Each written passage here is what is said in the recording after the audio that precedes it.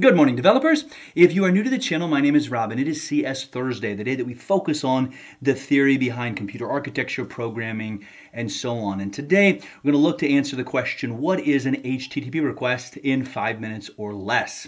Well, all over the world at this very moment, there are devices that are talking to one another via their internet connection. Sooner or later, it almost always comes down to, to some kind of fiber optic cable, but via Wi Fi, etc. And back and forth between these computers is going data. What does that mean? Well, they are packets. Data, as it passes around, comes in the form of a packet, and packets have five layers. Uh, there is a seven layer model, but I prefer the five layer model. At the very top of that is the application layer. And inside of the application layer, or I, guess I should say, HTTP lives in the application layer. If you're interested in how a packet is, is set up and, and the format and a little bit more detail, I have another video that I can link in the description. But anytime you make data requests of any kind, a packet is going around. And one of the layers is application. If you make an HTTP request, you are at the top. And what does it look like? Well, all of the layers have pretty much the same format. It's called a frame, and it has a header and a body. And the header is metadata, meaning it is data about data. Header describes what is inside of the body.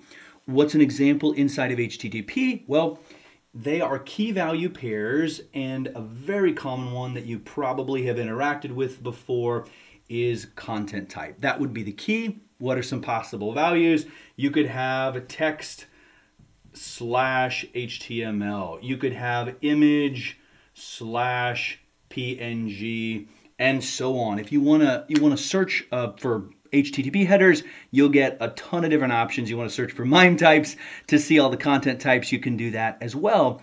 But this is what is getting sent at the again at the top of the packet whenever an HTTP request gets sent. And the most common use case is going to be from a browser to a server.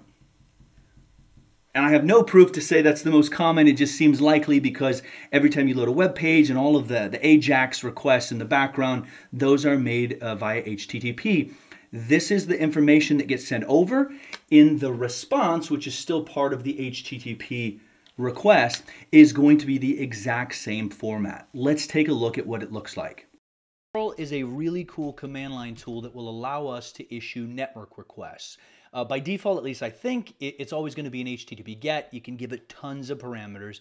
But dash V is it means verbose, meaning to show me all the information you've got, and then we give it a host. I'm gonna I'm gonna hit Google.com. Uh, and this very literally allows us to see the frame, the, the headers and the body. If you start here, the arrow pointing to the right, that is our request going out to Google. And uh, the, the first, the lines before that is just network information. But we, we sent a GET request to slash. We didn't give it a path, so it went to google.com slash. And then it shows us the protocol, HTTP 1.1. And then we see the headers. Left side is the key, right side is the value. So host, google.com, user agent, curl, 8.1.2. The user agent could have been Chrome or Firefox, etc. And then we have a blank space, and that's always there to separate the body from the headers. We didn't have a body, so it didn't send anything. And then you can see we get that left arrow right here that's the request we got back from Google. It's, it's a response, but it's still an HTTP request. Same protocol, we got the status code of 301 that it moved permanently, and then the headers, location, www.google.com, content type, text slash HTML. The, the empty line is down at the bottom there. That says, hey, the body's about to start, and then there's the HTML. So who's ever on the other end, the user agent. In our case, it's curl, so it just literally printed it off because that's what curl does. But if it was a browser, it would parse that. Why? Because, oh, you told me up in the headers that this was HTML. If it was an image slash PNG, it would try and render it.